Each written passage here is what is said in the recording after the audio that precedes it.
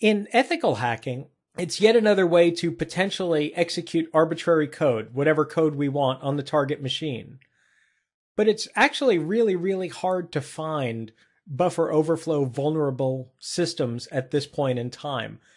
Good coding practices have become the norm. Almost anyone that's writing code nowadays uh, for utility use, for widespread use, is writing code such that it checks all of the inputs. It makes sure that everything is just so.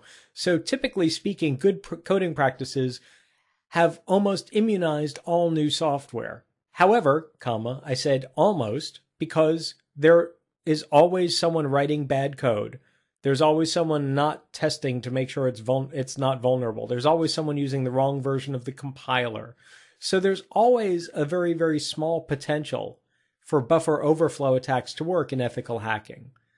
Typically, what I do is during the enumeration and footprinting phases, I'll footprint operating systems and services. What services are running? Which versions of IIS are out there? Which versions of SQL are out there?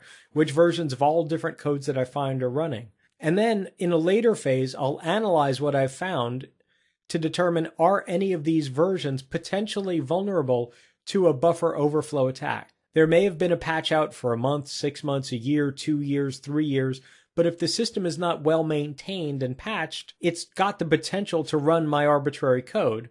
And then I'll simply either craft up my own code to attack it or I'll just pull some down off the internet.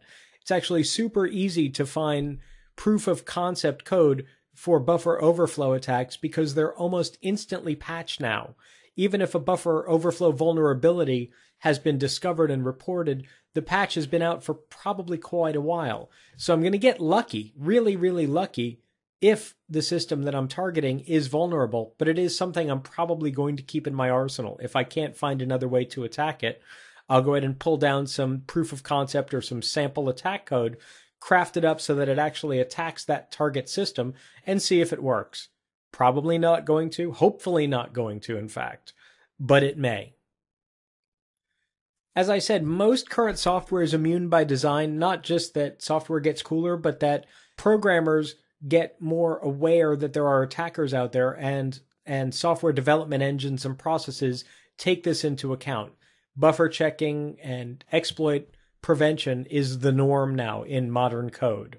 It's also very, very limited type of exposure. A buffer overflow is usually limited to a flaw in a particular version of code and a particular type of code Occasionally, you see buffer overflows as operating system component or in operating system components, rather.